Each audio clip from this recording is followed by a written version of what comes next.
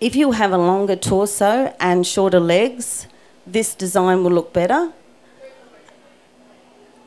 And if you have a short torso and longer legs, this design will look better.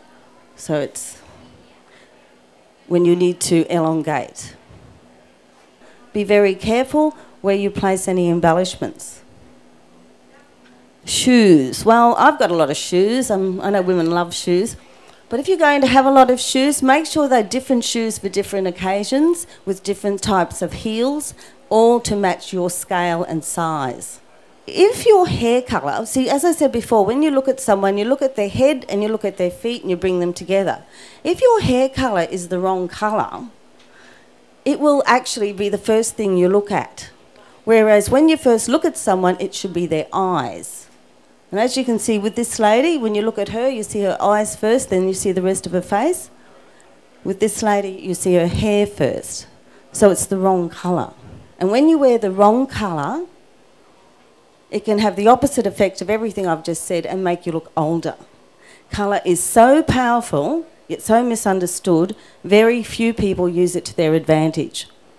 So I'll demonstrate again with another couple of, just two other coats, just to show you, rather than just doing like neutral colours, I'll put some colour on.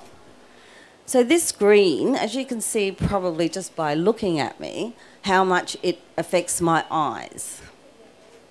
So it's just a jacket. but it's not just a jacket, it's the perfect colour jacket for me. And when you know what suits you and you have your colours done, you can walk into a shop and you can go, oh, yes, no, save so much time. so it's, um, it is pretty magical. This is just another one of the colours that uh, works well for myself and I won't change my shoes, but if I wore these shoes with it, a little bit harder to get on, but they would then match the jacket, match my hair colour, and make me look taller as well. I'm only five foot two, so to find out if you have cool, warm, or neutral undertones, um, and then a colour swatch is given to you to take with you, and that's what you have to coordinate that wardrobe that was in the first shot. To create that balance, that is done through a body uh, consultation, body shape and design consultation, where horizontal and vertical uh, measurements are taken, and the result of that is a computerized printout of a workbook that details everything for your particular body shape for necklines, hemlines, pockets, skirt lengths, jacket lengths, and equipped with